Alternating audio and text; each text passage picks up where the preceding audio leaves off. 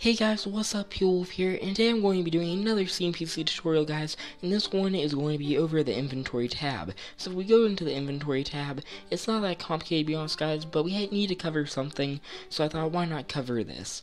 So first off, right here we have my inventory. This does not pertain to the NPC whatsoever. This is just where you're going to put your items and blocks in order to put into all these different sections right here in the NPC's inventory.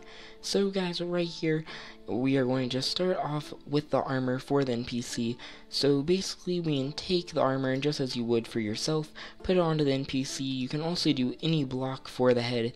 So if you want to have this placeholder, whatever you guys want right here, you can do so. Okay guys, so now we are on to the weapons right here. So this first slot right here, if we put something into it, this is going to be the primary weapon. So as you can see, he's holding it like he would any other weapon if you were a normal player in the game.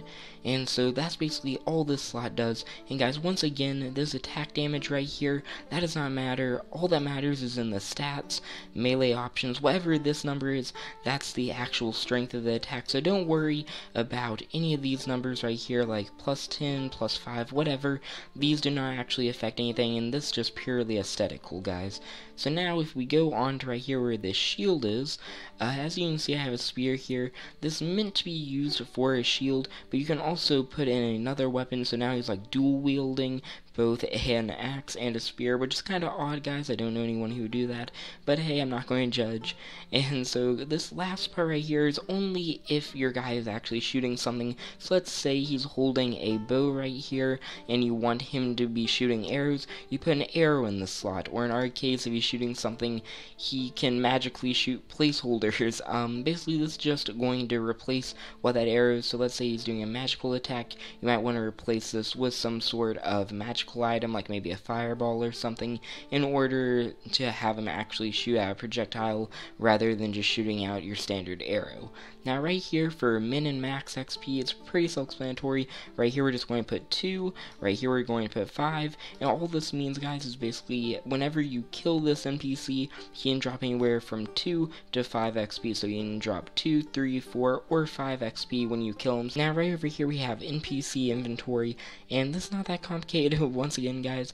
Uh, so let's say we have a satchel here, we have some coins that we want them to drop, but we don't want them to drop all these all the time. Now, if you want them to drop all the time, let's, let's say the satchel is a quest item that you always want them to drop, keep it 100. Now, for these bronze coins, they're not that rare, guys, so let's just turn it down a bit. So, 77% of the time when you kill him, he'll drop those. Silver, I mean iron coins, sorry about that, guys, are a little more pricey, so we only want him to drop it about 50% of the time. And these gold coins, they're super rare, so we want to drop it really low, so only 14% of the time will he drop those. Thank you guys for watching. If this video helped you, make sure to leave a like. If you have any questions, make sure to leave them in the comments below. And just thank you guys so much for all the support you're giving this series, and I'll have another custom NPC tutorial ready for you guys next Monday. So thank you all for watching. Please rate, comment, and subscribe, and I will see you guys next time. Bye. Bye.